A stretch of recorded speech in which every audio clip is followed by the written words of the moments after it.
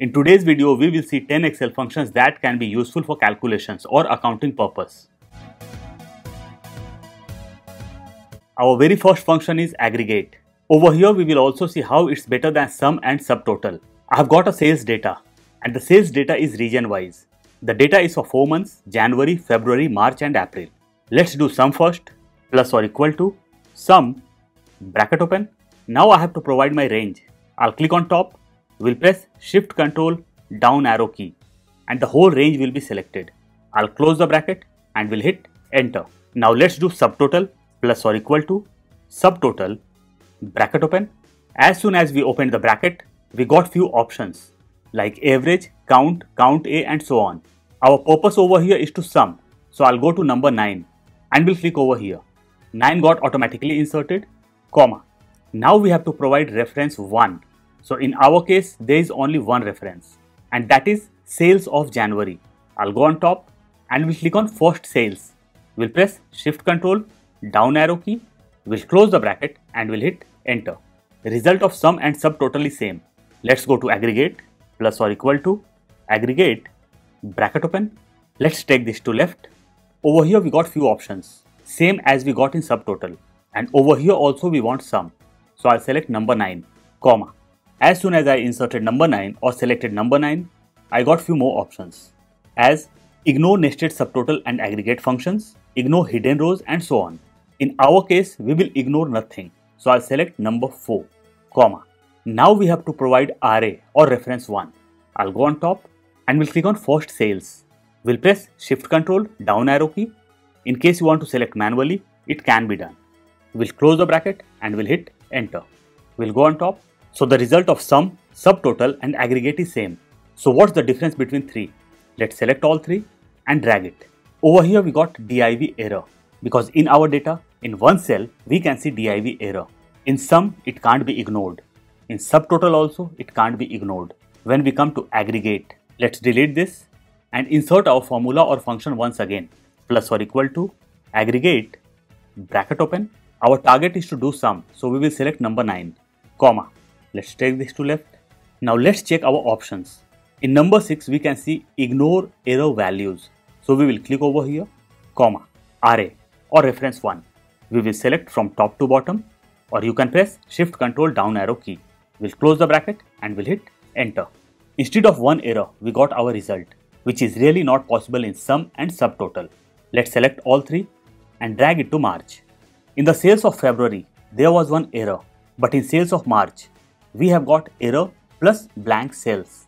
So we can't do anything in sum and subtotal. Let's go to aggregate. We'll delete this and we'll insert our formula or function once again. Plus or equal to aggregate bracket open. We'll select sum comma. We'll take this to left. Over here what we want to do? Over here we want to ignore hidden rows error values nested subtotal and aggregate functions. But in our data we have got hidden rows and error values so i'll select this comma array we'll select our data from top to bottom we'll press shift control down arrow key and my whole data is selected. I'll close the bracket and we'll hit enter. I got my result. Let's go to top and hide few rows. Hide. And my result over here got changed. I'll unhide my data. Over here I have got sales region wise and I have got a drop down. I'll click on drop down and we'll select east. Apply filter. I'll close this and we are able to see the sales of east only. In subtotal also it's possible but if error will be there it will not be possible in subtotal also. Let's delete error from here and we can see the result in subtotal. In sum, it's giving the total of hidden rows also. Let's clear our filter. Let's select this once again and we'll drag this to April. Now over here in sales of April, we can see some blank cells. When I click on this, I have got one subtotal over here, means subtotal of this. Over here we have got one error and aggregate of this. When we come down, over here we have got one blank cell and when I click on blue part, we have got subtotal. Means in the whole column, we have got two subtotal and one aggregate. Let's go on top. Let's delete this formula and let's insert the formula once again. Plus or equal to aggregate bracket open. What we want? We want sum, comma. What we want to ignore over here? Ignore hidden rows, error values, nested subtotal and aggregate functions. Let's select number 3, comma, array. We will select the whole data from top to bottom. We'll close the bracket and we'll hit enter.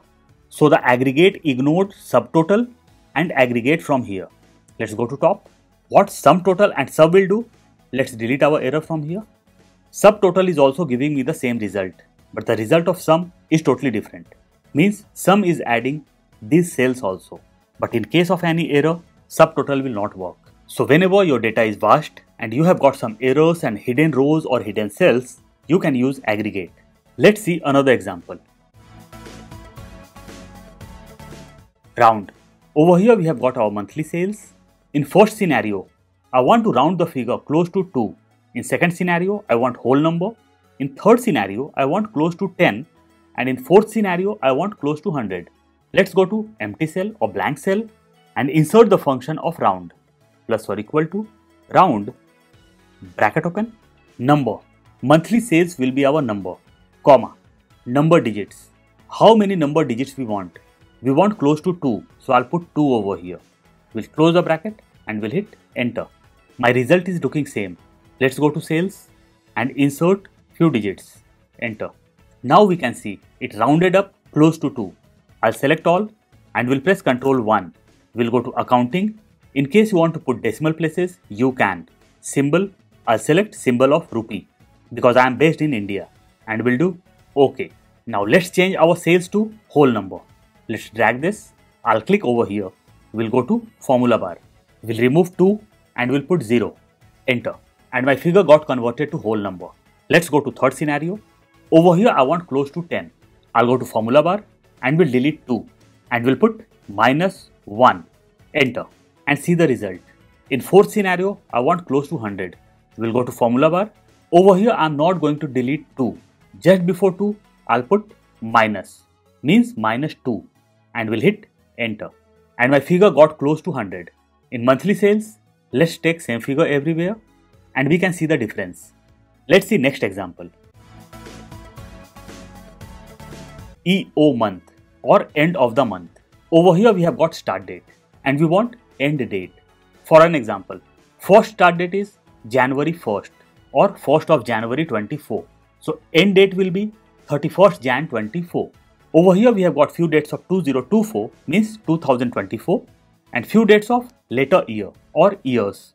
Let's insert our function or formula over here plus or equal to EO month means end of the month bracket open start date so our start date will be this cell, comma, months. How many months we want? We want 0 months. So I'll put 0 over here. We'll close the bracket and we'll hit enter. So I got my end date. Start date is 1st of Jan and end date is 31st of Jan. Let's drag this down. And we got proper result. When we come down, start date is 1st Jan 25, end date is 31st Jan 25. Over here, start date is 1st April 28 and end date is 30th April 28. Let's come to right hand side. Over here I have got few criterias like I want end date after 1 month, after 2 months, after 3 months, after 4 months and so on. So what will be the formula? Plus or equal to EO month means end of the month bracket open start date. Start date will be same comma months. How many months I want? So over here I want 1 month. I'll put 1. We'll close the bracket and we'll hit enter. So I got end date as 29th February. In second scenario, I want after 2 months. Let's do one thing. Let's remove months from here and then we can give cell reference of these. I'll type 1 over here, enter. I'll type 2 and we'll press Ctrl E. So I got all my figures. I'll go to first cell. We'll delete 1 from here and we'll give the cell reference from here. Enter. Now we can drag this down and just check the end dates. After 1 month, after 2 months, after 6 months, after 10 months, after 12 months. In case you don't want to give cell reference, you can put the figure manually also. Over here it's 4 months, so I'll put 4, enter. And the result is same. Let's see next example. E date means end date. But here is a catch. What EO month was doing for us? It was giving end date of the month. Means if the start date is 1st of Jan, end date will be 31st of Jan. And what E date is going to do for us? Let's put our function or formula plus or equal to e date bracket open start date. We'll select this as start date comma months. How many months we want? In first scenario, I just want one month. So I'll put one over here. We'll close the bracket and we'll hit enter. So over here, my end date is 1st of February, not 31st of January. Let's click over here, plus or equal to e date, bracket open, start date. Start date will be 1st of February, comma, months. I'll take reference from here. We'll close the bracket and we'll hit enter. As I told earlier, in case you want to put the data manually, you can. No need to give cell reference. Now let's drag it down. So here we are getting end date as 1st of April. So start date is 1st March, end date 1st June. When we come down, start date is 1st March 27 and end date is 1st December 27 because we have taken 9 months over here. Now let's use e date with e month and see what result we are going to get. Plus or equal to e date bracket open start date. We'll select this as start date comma months. In first scenario or in first case, I want one month. So I'll put one. We'll close the bracket and we'll hit enter. I got some random figure. We'll click on top. We'll press control 1. Format cells window will open. We'll go to date and we'll select a desired date format and we'll do OK. We'll align all the things in center. Now let's put EO month over here. We'll go to formula bar. EO month means end of the month, bracket open. We'll come to the end, comma, months. How many months I want? Let's put 0, bracket close, enter. So we got 29th of February. What was the last result? It was 1st of February. Now we got 29th of February. What will happen? If I'll remove 0 and we'll put 1, I got 31st of March. So as per your requirement, you can use EO month with E date also. Let's see next example. Work day. I have got my start dates and I just want to count work days. On the right hand side, we have got number of working days and based on these criteria, we have to calculate our work days through start date. We'll click over here, plus or equal to work day. Over here, we get two options, workday and workday international. Workday international is more flexible, but let's see workday first. Start date. This is our start date, comma, days. How many working days we want? In first scenario, I want 7 working days. So I'll put 7 over here. Comma. Holidays. This is my holidays list. So I'll select dates from top to bottom. In case you want, you can press shift control down arrow key and your range will be selected. Whenever you will select range of your holidays, please ensure to lock it. So I'll press F4 or function F4 and my range will be locked. We'll close the bracket and we'll hit enter. And we got our result as 10th of January means it has ignored Saturdays and Sundays and even my holidays. But what's if Saturday and Sunday both the days are not week offs and I just want to ignore Sunday? Let's insert Workday International over here plus or equal to Workday. This time we will select Workday International. Start date, this is my start date, comma, days. How many days I want? In second scenario, I want 8 days, so I'll put 8 over here, comma. As soon as I inserted comma, I got various options. Now it totally depends on our priority. What will be our option? Saturday and Sunday, Sunday, Monday, Monday, Tuesday, and there are various options. In my scenario, it's number 11, Sunday only, comma. In case you want to include holidays, you can. In case you don't want to include holidays, it's totally up to you. In my case, I'll include holidays. We'll drag this. We'll lock the range. We'll press F4 or function F4 and my range will be locked. We'll close the bracket and we'll hit enter. Let's go on top. So my start date over here is 2nd Jan and end date excluding Sundays is 11th of January. We are getting days automatically because I have inserted the function of text. Let's insert our function or formula once again and this time we will give cell reference from here plus or equal to work days. We'll select workday international start date. This is our start date comma days. In days I'll take reference from here comma, weekend. When I come down, I get more options. And this time I'll keep Friday only, comma, holidays. It's totally optional, but I'll select this, close the bracket, hit enter. In this scenario, I excluded Friday. So we got Sunday over here. Let's drag this. And just check, Saturdays and Sundays are not ignored, but all the Fridays got ignored.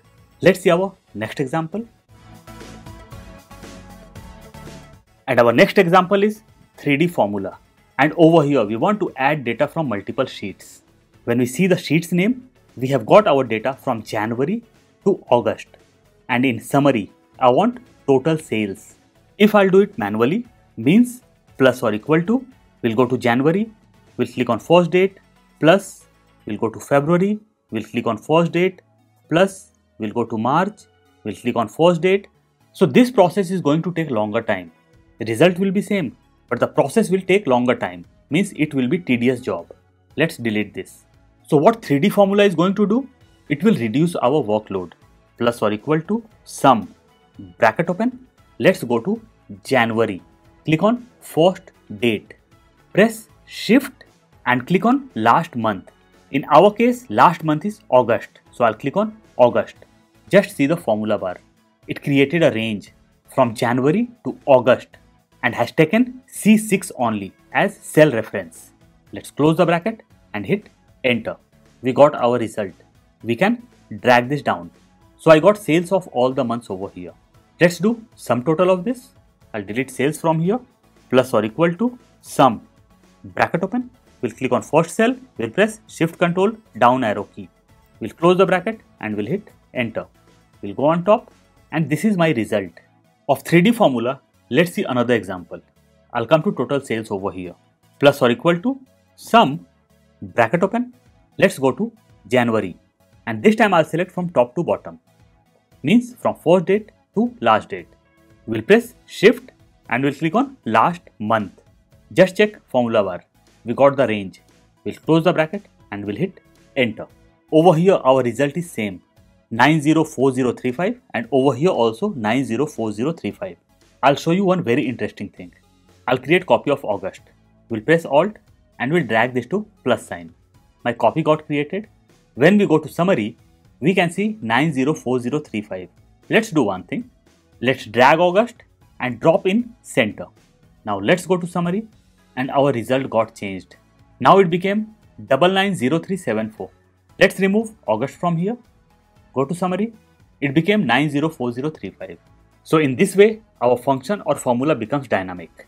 Let's see next example. Over here we have got a sales data. I have got date, employee name, items, quantity and sales.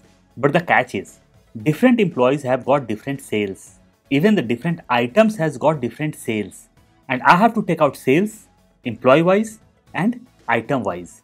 And over here we can't use sum or subtotal. Even we can't use aggregate over here. So what we can use? We can use sum ifs. Let's put our formula plus or equal to sum ifs bracket open. In sum if we get two options sum if and sum ifs. Over here we are using sum ifs, sum range.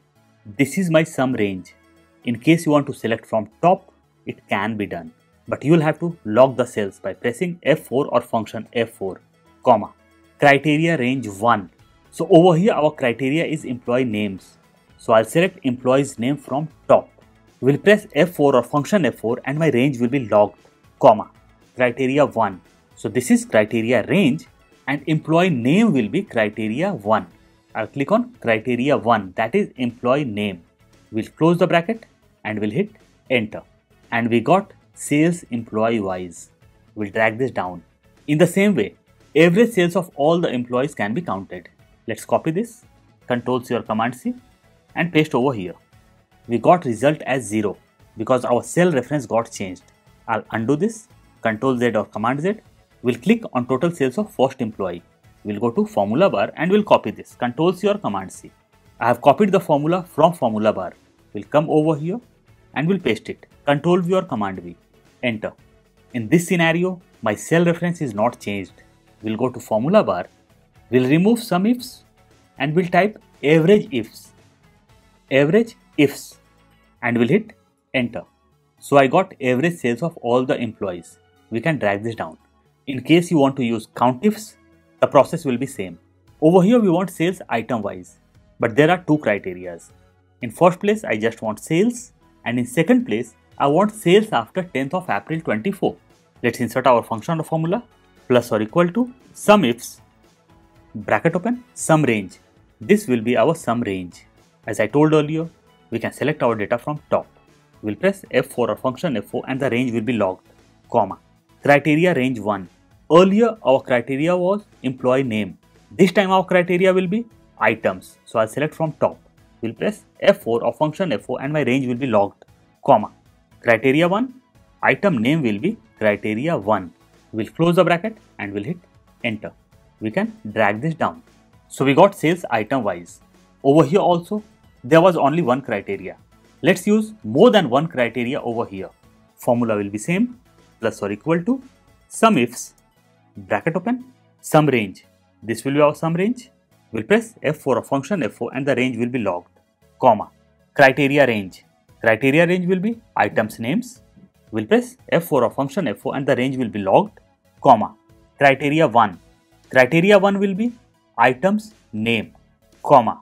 As soon as we inserted comma, we can see criteria range 2 and our second criteria is sales after 10th of April 24.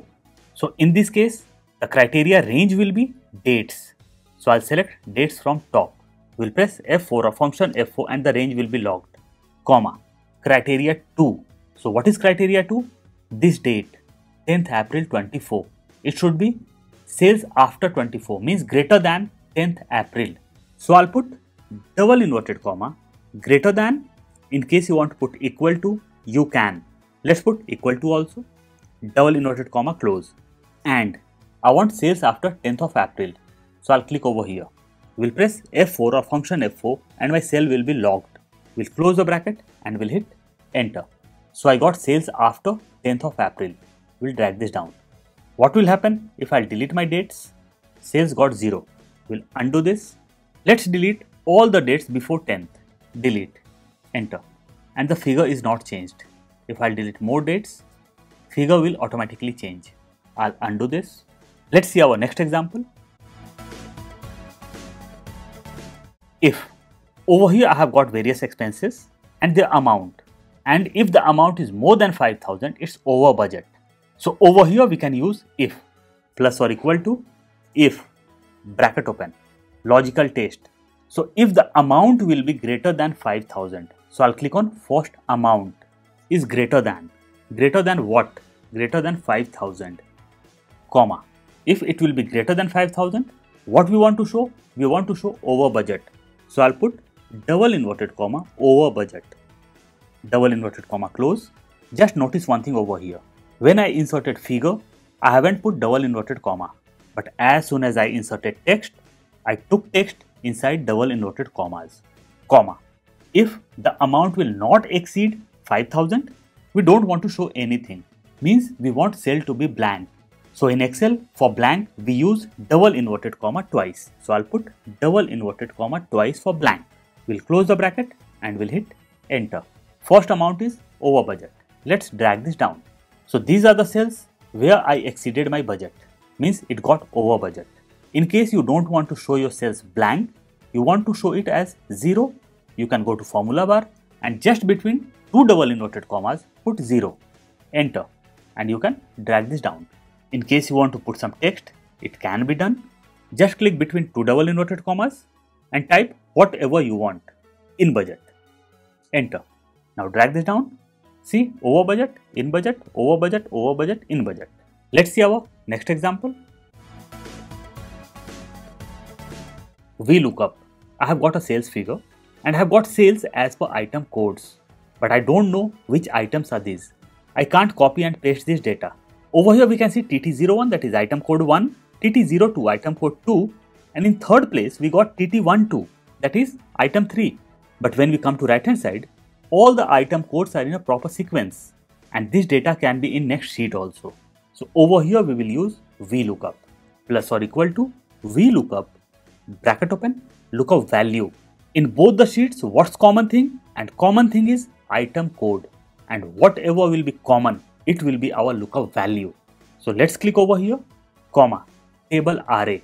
From where we want to take our data? We want to take our data from this. In case you want to select the range, you can, but I always prefer to select from top.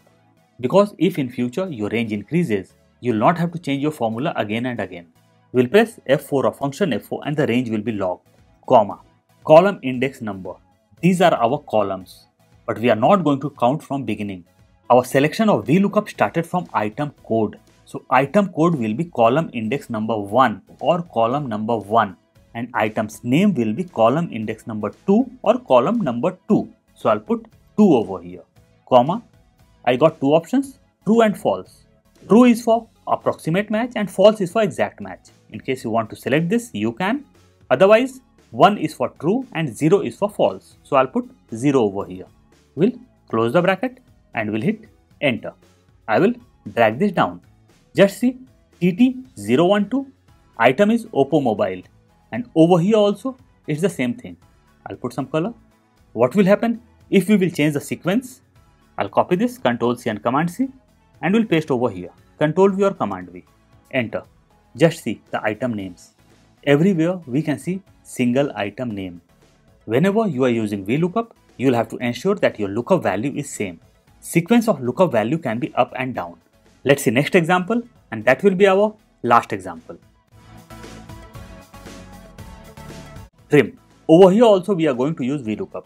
Formula or function will be same plus or equal to VLOOKUP bracket open lookup value item code will be our lookup value comma table array this is our table array we will select from top and we'll press f4 of function f4 and our range will be logged comma column index number items are in column number 2 so i'll put 2 over here comma 0 for exact match we'll close the bracket and we'll hit enter over here we inserted proper function or formula but then also we are getting error so what may be the reason i'll drag this down in some places I'm not getting error and in some places I'm getting error. So what may be the reason of our errors? It may be our lookup value and our lookup value is item code. But all the item codes are looking proper. Let's click on first item and we can see some space over here. Means just before item code. And just after item code also we can see some space. So what can be done? We will have to remove all the extra spaces and that can be done through trim. I'll show the function of trim over here plus or equal to trim. Bracket open. We'll click on first item code. We'll close the bracket and we'll hit enter. All the extra spaces from beginning or from the end got removed. I'll drag this down. Now what we can do, we can copy this and can paste over here. Or let's do one thing, go to items. Let's delete B3, that was lookup value and select our lookup value from here. Let's see our VLOOKUP is going to work or not. Enter. It worked and it worked same way as XLOOKUP works because I have taken lookup value from here, not from here. So it's an amazing thing. Or if you don't want to copy paste and change the cell reference, one more thing can be done. I'll undo this. We'll click just before lookup value and we'll put trim. Bracket open. We'll take my lookup value in bracket. Now I'll hit enter. I'll drag this down and see it worked. So with VLOOKUP, we can use trim also if there's issue with item codes. So these are our few functions for accountants. I'll provide link of the file in description box. In case you want to download, you can. I'm sure you must have loved the video. Please don't forget to like, share and subscribe. See you soon with a new topic. Till then, bye-bye.